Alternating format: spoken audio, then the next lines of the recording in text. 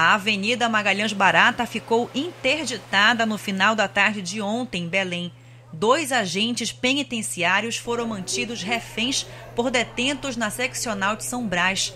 O batalhão de choque da Polícia Militar e a Força Nacional estiveram presentes no local. É um dia de visita na unidade e, e após o término da visita, ao recolhimento desses apenados em suas celas e também, é, ao mesmo tempo, há também a distribuição de alimentação.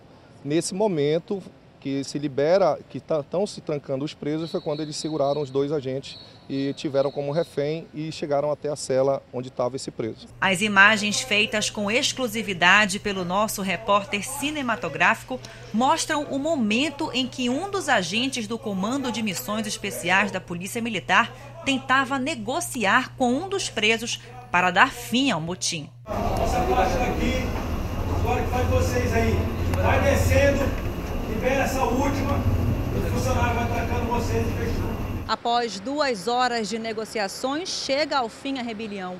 Um preso acabou sendo morto por conta de uma briga entre grupos rivais. Dois agentes penitenciários que foram mantidos reféns foram liberados e passam bem. Ninguém foi ferido. Cleonilson Santana Gama, de 39 anos, teve o corpo removido pelo IML. Segundo informações da polícia, o detento havia chegado há pouco tempo no centro de triagem da SUSIP. Ele era foragido do sistema prisional, tinha sido recapturado, ele tinha passado pelo CRC. Familiares dos detentos protestaram em frente à seccional cobrando uma posição das autoridades a respeito do caso. A minha dificuldade é que eles não querem dar informação para nós que somos família. A gente quer atenção deles, cadê a assistência social, cadê eles aí que não dão informação para a gente? Um procedimento disciplinar penitenciário será aberto, além de um inquérito policial para descobrir quem são os envolvidos no homicídio.